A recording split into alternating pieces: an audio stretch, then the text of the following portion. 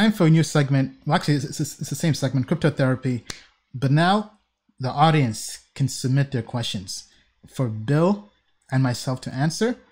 So, for anybody out there, if you want to submit for the next live stream, to submit your voicemail.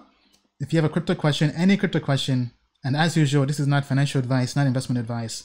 We, we, we, we can only share with you our own opinion of what we would personally do, right? That's why we have the disclaimer here.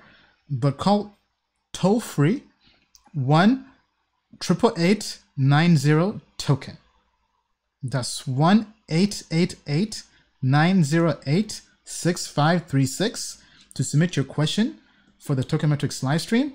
We accept calls from the USA and international, right? Uh, but we definitely uh, encourage you to check with your phone company to make sure if you're calling international, whether there'll be a charge or not. Uh, it is a toll-free number, so anybody in the US, you don't have to pay any to, to call. Uh, and we do accept international calls, but I'm not sure whether uh, I think it might vary depending on where you are, but just double check. But it is a toll free number because that was feedback people gave us last time when we tried this. So, with that being said, go here to submit your question. Okay, so the first voicemail that has been submitted today, this, this comes from somebody in our professional plan. So, they, they basically had first dibs. So, let's go ahead and play this. If anybody has any issues with the with the audio, please tell us in the comments below. Okay, here we go.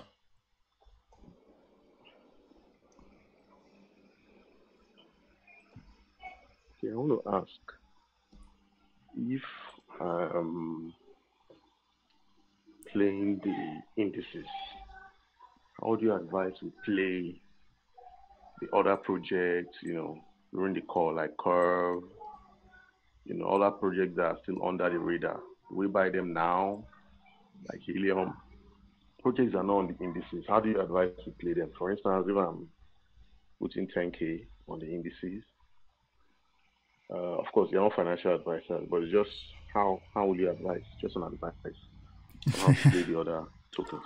Okay, so I'm not sure how the audio uh, came out. Uh, let me know if um, if the audio was was was loud enough. Okay, but just kind of go through the question again. So basically, question is how to invest in token in tokens, not in the indices, right? So basically, he says. Uh, he's following the token metrics indices, but he wants to invest in tokens like Helium and others which are pretty pretty new and not currently in the indices. Uh, so definitely very good question, very relevant question. I would say uh, treat treat it like a diff, like a part of your portfolio, right? So imagine you have some large cap coins. You have some. So basically, you have two, two, two portfolios: one for trading, one for long term hodling. One is a long term value investor, right? So look at it and say, okay, what coins do I want to have? Okay, and maybe part of those, for example, maybe your, your long-term hodl portfolio is multiple indices. Maybe you have the quarterly tokenmetrics indices. Maybe you have the the annual tokenmetrics indices uh, uh, index, right?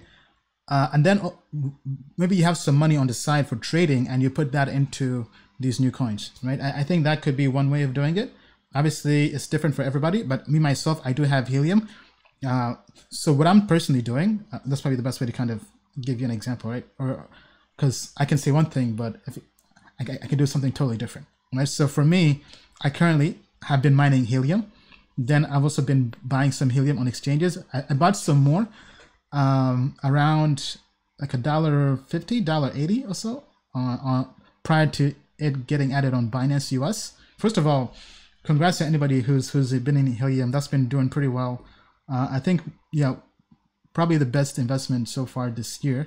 Uh, it's, it's done over 500%. And, and, I, and, and for me, I'm just kind of buying for the long term, right? So I'm buying, I'm kind of done trying to predict the price and try, trying to time it, right? Because I tried to time it when it was at 25 cents. I tried to buy it at 10 and 15 and it kept on going to $1.50. right? So, so I'm done playing that game because if, if I'm investing long term, the price is not the biggest factor, right? Obviously, it does matter, but it's, it's not the biggest factor because if I think it's still undervalued and I think it's going to be a top 20, top 30 market cap project, then it makes sense for me to accumulate now, right? So I'm, I'm basically doing that.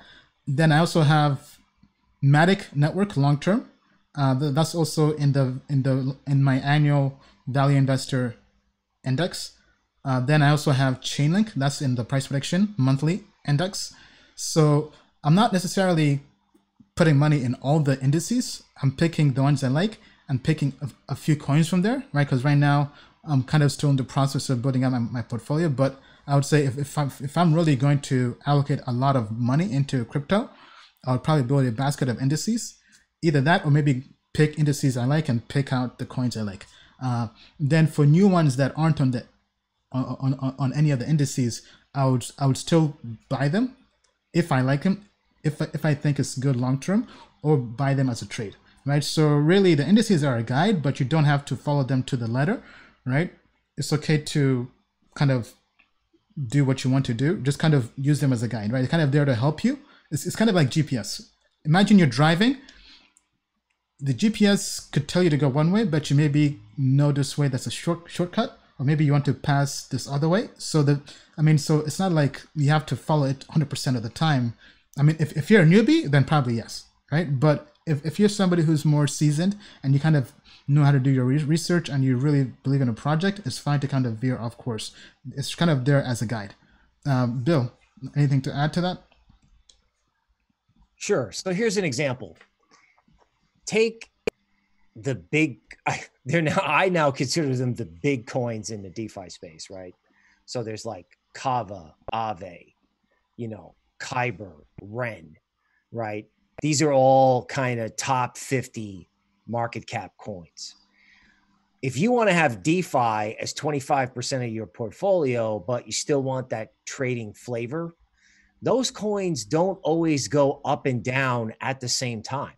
You know, Kava will go on a run, then it'll stop, and then Ren will go, and then Aave, right? So if you want to play a trading game, it's like you know, buy it, it goes up, take the money, and switch to another one. still in DeFi, you've still got I don't know, ten or fifteen percent of your portfolio in it. You're just your portfolio has a speculative element, right? So three quarters of the pie is for investment, and twenty five percent of the pie is for trading. Now, those DeFi examples, you know, there are multiple themes now, right? There's the interoperability, the Oracle space, etc. You can play it any way you want, just not with all your money. so, yeah. so it's not with all your money. And then on the other side, you don't have to stick exactly to the index.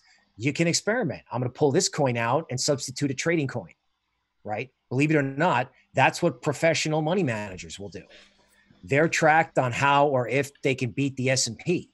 So they're going to have their picks or things that they like to try to get a better return for their investors than if they just drop their money in an index.